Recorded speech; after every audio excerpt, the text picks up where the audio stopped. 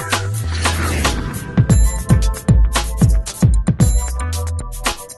everybody, it's Angie, and today I wanted to do a comparison of a few different eye makeup removers. Being Miss Cheap as I am, it's just not my nature to spend a lot on something like an eye makeup remover. Nevertheless, I do want some decent performance out of it.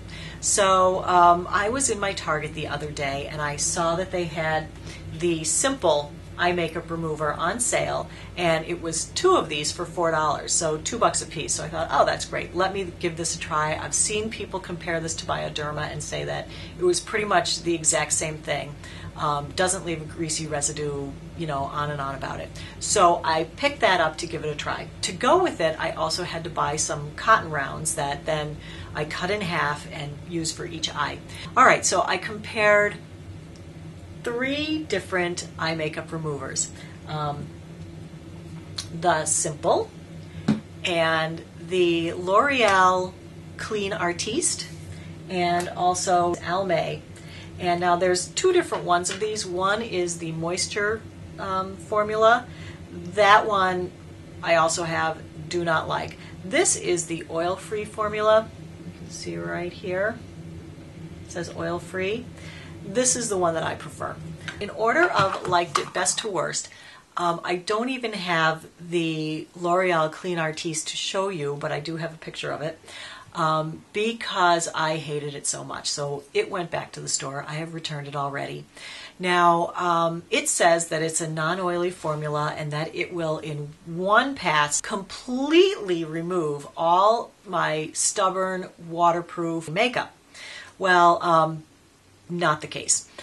Not only did it leave a big oily residue all around my eyes that then I had to wash my face twice to get it off, it didn't take off the eye makeup any better than these other products that didn't leave a grease slick. So um, that one was a big thumbs down for me. I did not like it at all. And I, you know, as always, I go into these things, I have such high hopes for it, and I believe everything that it tells me on the label because I'm like, oh, if it says it on the label, it must be true. I mean, clearly they've tested this product. If they're saying it doesn't leave an oily residue, then it must not leave an oily residue. Au contraire, not the case. It leaves a huge oily residue.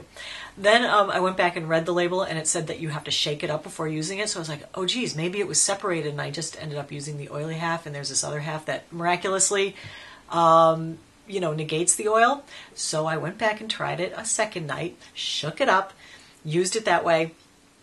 Still, big oil slick around the eyes. Couldn't stand it. So that's my pet peeve with um, eye makeup removers. All right, and so so with this one, this one does not leave an oily residue. But if you end up buying the other one that says moisturizing right here, it has the same little graphic, so it's hard to tell them apart. You really have to put your readers on in the store and make sure that you're getting the right one, the oil free. The moisturizing one is very greasy. It leaves a big grease slick on your eyes, and I don't really feel that it takes off the makeup any better than this one. So, um, but this is my favorite, so I'm going to talk about the Simple next. All right, so I do like this brand and this kind of eye makeup remover. This is a very watery formula, and um, but you do have to buy cotton pads or cotton rounds to use it with.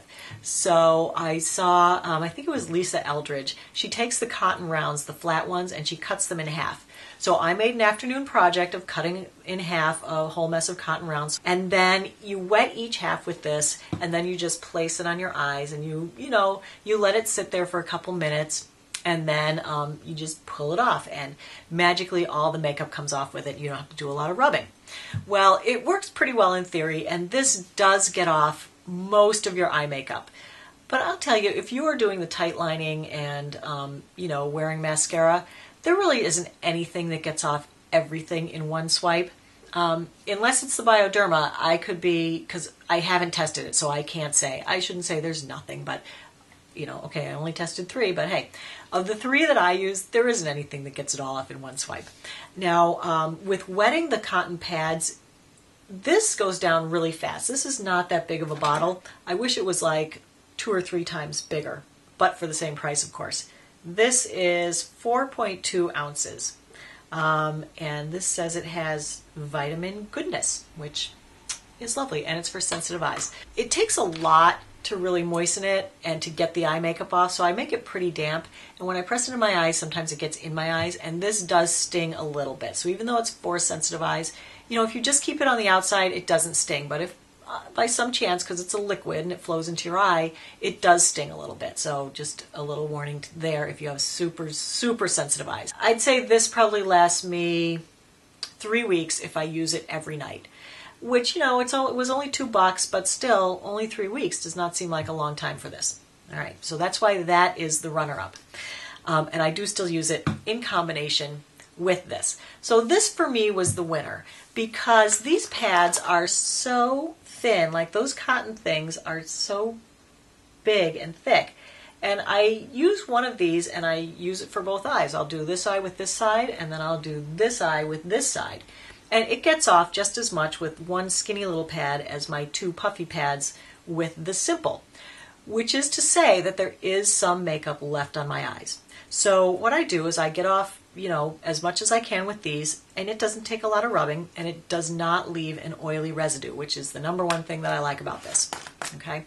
Then I wash my face and a little bit of more black stuff dribbles out of my eyes while I'm washing my face. I get that off. And then I always have like a little raccoon ring of gray under here and usually some eyeliner stuck in the lower lashes or in the upper lashes. So then I use a Q-tip with the Simple and just a couple of drops on the Q-tip just to get the little bit of excess off. So I use a combination of these two.